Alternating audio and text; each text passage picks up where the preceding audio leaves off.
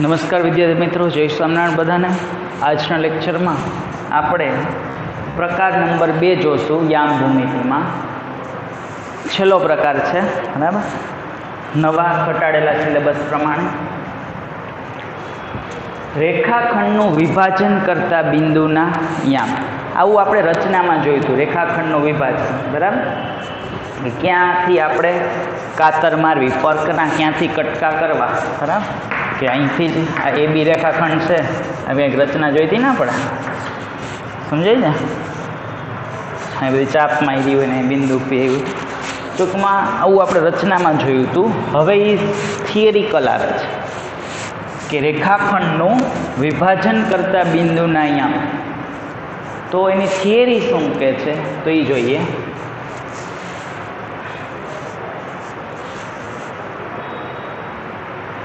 A x one y one અને B x two y two એ કોઈ રેખાખંડ. A બીના અંત્ય બિંદુઓ છે.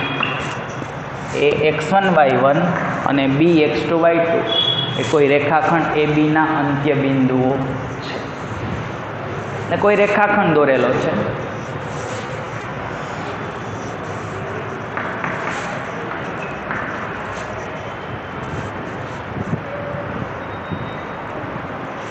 એના યામ આપણને કેટલા કીધા? X one, y one. બીના યામ છે એક્સ ટુ, વાય ટુ. આપણે શું જોઈએ છે? તો કે આ રેખાખંડનું વિભાજન જે બિંદુ કરે ને એ બિંદુના અહીંયા. માની લઈએ કે આ રેખાખંડનું વિભાજન છે ને, એ બિંદુ પી અહીંયાથી કરે છે. તો આપણે બિંદુ પીના અહીંયા મેળવવા છે. તેનું સૂત્ર છે. શું સૂત્ર છે? તો એવું આવે લખવાનું કે રેખાખંડ એ બીનું એ બીનું એ તરફથી એમ જેમ એન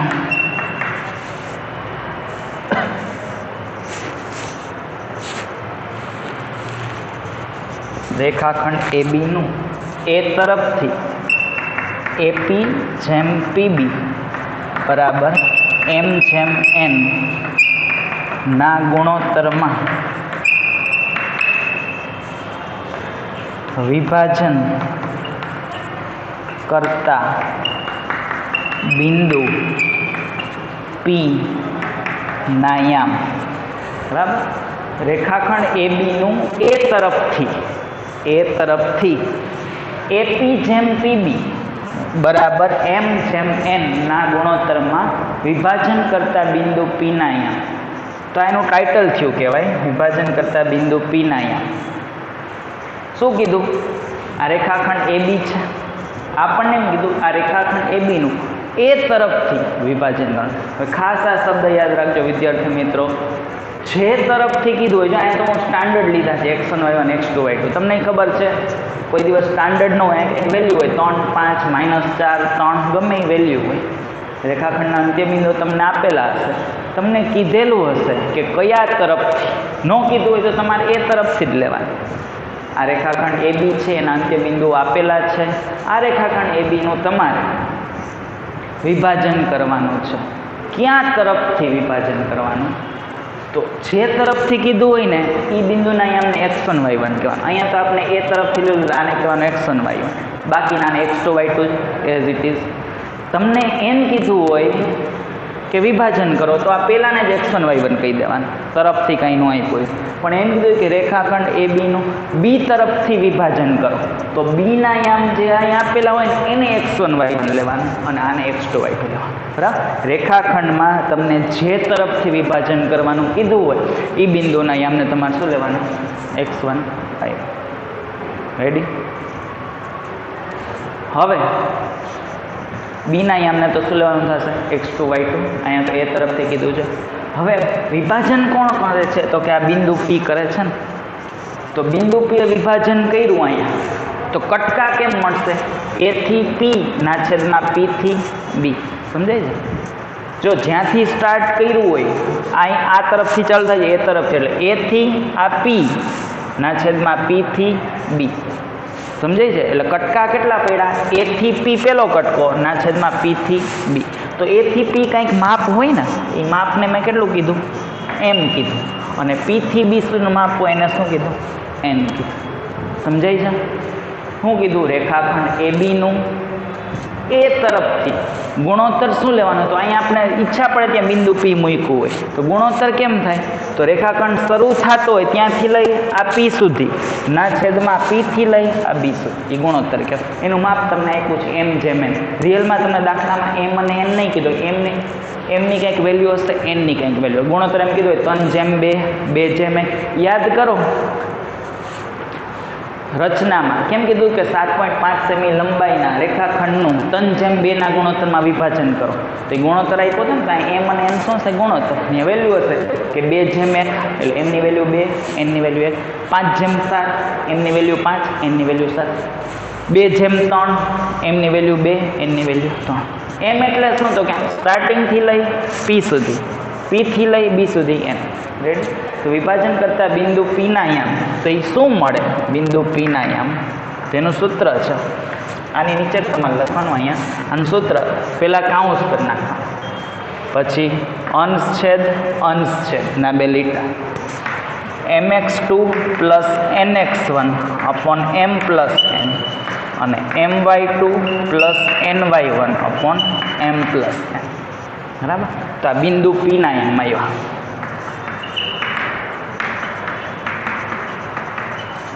કોઈ પણ બિંદુ હશે તો એને બે યામ હોય ને અત્યારે ખબર નથી. એટલે પેલો યામ એક્સ અને બીજો યામ વાય બરાબર? તો જો એક્સ યામ કોણ હશે? આ બાજુનો એક્સ અને વાય યામ જે છે, આ બાજુનો વાય એટલે બિંદુ પીના યામ ખબર નહોતી. એટલે મેં કેટલા થઈ રહ્યા હતા? એક્સ વાય ખબર નહોતી એટલે એક્સ વાય થઈ રહ્યા હતા. તો બિંદુ પીના યામ કેમ મળે? બરાબર કરી કાઉન્સમાં અંશછેદનો લીટો, અનછેદનો લીટો. અલ્પવિરામ કરે m x two plus n x one upon m plus n m y two plus n y one upon m plus ready એકદમ ઇઝી છે. હું જે પ્રમાણે જે ઢબથી બોલતો હોય એ પ્રમાણે બોલશો, તો તરત યાદ રહી જશે. રેખાખંડ એ બીનું આ રેખાખંડ એ બીનું એ તરફથી એ તરફથી એપી જેમ પીબી બરાબર એમ જેમ એનના ગુણોત્તરમાં વિભાજન કરતા બિંદુ પીના યામ એના બરાબર. આ એક્સ વાય તો લખ્યું છે, કેમ કે કોઈ પણ બિંદુને બે યામ હોય એક્સ એમ વાય લાયક્સ આપે આ વાય આપે. વિભાજન કરતા બિંદુ પીના યામ બરાબર. કાઉન્સમાં m x two plus n x one upon m plus n m y two plus n y one upon m plus n ફરીથી કહું છું. રેખાખંડ એ બીનું એ તરફથી, રેખાખંડ એ બીનું એ તરફથી એપી જેમ પીબી એપી જેમ પીબી બરાબર? એમ જેમ એનના ગુણોત્તરમાં. વિભાજન કરતા બિંદુના યામ, વિભાજન કરતા બિંદુ પીના યામ. એના બરાબર m x two m x two plus n x one upon m plus n m y two plus n y one upon m plus n clear clear બધાને? રેડી ફરીથી કહું છું, કોઈ રેખાખંડ એ બી આપેલો હશે, તો એ અને બીના અંત્ય બિંદુઓના યામ પણ આપેલા હશે. તમારે એ રેખાખંડનું વિભાજન કરવાનું છે. તો વિભાજન એટલે કોઈક બિંદુએ કાતર મારવાની છે, છરી મારવાની છે, તો એ બિંદુ પી ના યામ આપણે મેળવવાના છે. બરાબર? તમને ગુણોત્તર આપેલો હશે. બે જેમ ત્રણ બરાબર? કે ત્રણ જેમ બે, ચાર જેમ ત્રણ ગમે તે. એટલે યાદ જ રાખવાનું સૂત્ર કે આ રેખા આ આકૃતિ દોરવાની થાય એટ અ ટાઈમ દાખલો આવશે ત્યારે વધુ ક્લિયર થાય. અત્યારે ખાલી આપણે સૂત્ર પર જ ફોકસ કરીએ છીએ. રેખાખંડ એ બીનું રેખાખંડ એ બી આ આકૃતિ દોર નાખવાની કે રેખાખંડ એ બીનું એ તરફથી એપી જેમ પીબી બરાબર. એમ જેમ એનના ગુણોત્તરમાં વિભાજન કરતા બિંદુ પીના યામ, એના બરાબર m x two plus n x one upon m plus n m y two plus n y one upon m plus n આ ખબર જ હોવી જોઈએ. આજના હોમવર્કમાં અહીંથી લઈ અહીંયા સુધીનું આ પચાસ વાર લખવાનું છે સૂત્ર. બરાબર પચાસ વાર લખવાનું થાય છે. બરાબર? સૂત્ર જો હું બોલું છું, એમ તમારે બોલતું જવું પડશે, તો જ યાદ રહેશે. હજી એકવાર રિપીટ કરું છું કે વિભાજન કરતા બિંદુના યામ, આમ જ ખબર હોવી જોઈએ. વિભાજન કરતા બિંદુના યામનું સૂત્ર શું થાય? તો કે m x two plus n x one upon m plus n અને m y two plus n y one upon m plus અથવા તો આ સૈદ્ધાંતિક રીતે ખબર હોવી જોઈએ. કે આ કોઈ રેખાખંડ એ બી એના અંત્ય બિંદુ જાણીએ છીએ.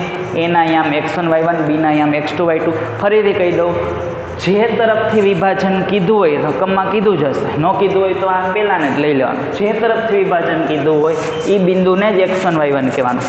બાકીના બિંદુને x two y two B તરફથી વિભાજન કીધું હોય રકમમાં તો બીના યામને એક્સ વન વાય વન કહો અને આને એક્સ ટુ વાય ટુ તો જો, તો ગુણોત્તર થયો બી તરફથી વિભાજન કીધું હોય બી તરફથી વિભાજન કીધું હોય તો બીના યામ શું લેવાના? એક્સ વન વાય અને આના યામ એક્સ ટુ વાય ટુ હવે વિભાજન કરતું બિંદુ માની લો કે અહીંયા પી અહીંયા જશે તો ગુણોત્તર આમ બન્યો. બીથી પી બીથી પી જેમ પીથી એ બીથી પી બીથી પી જેમ પીથી એ તો બીથી પી હોય ને એમ કહેવાનું નાને હોય એમ કહેવાનું. એમ જેમ રેડી તો આ બાજુથી એમ આ બાજુથી એમ અને એમ આપવા. આમાં આ બાજુ તો અહીંયા એમ અને અહીંયા. પેલું એમ, બીજું એમ. આ તરફથી હોય તો આ બીથી પી એમ અને પીથી બી એમ આ તો કીધું ખાલી. સારું. ફરીથી કહું છું. શું કરવાનું? તો કે એ અને બીના અંત્ય બિંદુ આપેલા હોય. એનું એ તરફથી કીધું હોય, જે તરફથી કીધું એને એક્સ વાય બાકીના નેક્સ્ટ હોય. વિભાજન કરતું બિંદુ પ્યાંય વચ્ચે લેવાનું હોય, કે જેના અહીંયા મેળવવા છે. આના ખબર નથી, એટલે એક્સ, વાય ધાર્યા. બરાબર? કોઈ પણ બિંદુના બે જીએમ હોય, એક્સ, વાય, ખબર નથી, એટલે એક્સ, વાય, એટલે એક્સ અને વાયની વેલ્યુ શોધવાની છે. શું લખીએ? રેખાખંડ એ બીનું આ રેખાખંડ એ બી રેખાખંડ એ એ તરફથી એપી જેમ પીબી બરાબર એમ જેમ એન ના ગુણોત્તરમાં વિભાજન કરતા બિંદુ પીના યામ એના બરાબર કાઉન્સમાં m x two plus n x one upon m plus n m y two plus n y one upon m plus ready હોમવર્કમાં અહીંથી અહીંયા સુધીનું આ જ રીતે બોલતું જવાનું, લખતું જવાનું પચાસ વાર. બરાબર? આવડી જ જશે. નેક્સ્ટ લેક્ચરમાં આના દાખલા આપણે ગણીશું. બરાબર? આઈ હોપ બધાને ખ્યાલ આવી ગયો હશે. જય Swaminarayan. Best of luck have nice day